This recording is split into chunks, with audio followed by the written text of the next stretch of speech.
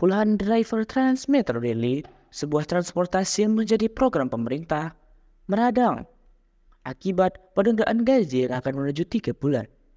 Penundaan itu menuntun mereka untuk melakukan aksi mogok kerja di Tugu Perjuangan, Jalan Stasiun Kereta Api, Medan, pada Jumat 6 Oktober 2023 pagi.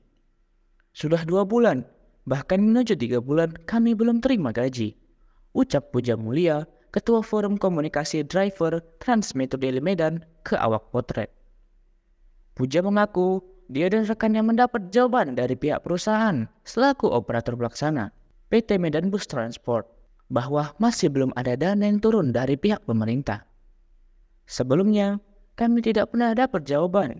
Ketika mereka tahu kami mau melakukan aksi mogok, mereka pun akhirnya memberi jawaban bahwa dana dari pusat masih belum turun. Ucap Puja dengan wajah yang masam. Mereka pun berencana untuk mendatangi kantor perwakilan Kementerian Perhubungan di Uniland guna mencari jalan keluar atas permasalahan penundaan gaji ini. Selain penundaan gaji, para driver mengaku bahwa pihak perusahaan juga melakukan pelanggaran kontrak. PT Medan Bus Transport selaku operator pelaksana Transmetro Daily Medan melakukan penurunan gaji di tengah masa kontrak. Di situ dia memanggil. Di situ dia buat janji. Hah, habis buat janji, besok janji lagi. Ingkari lagi. Ingkari lagi besok.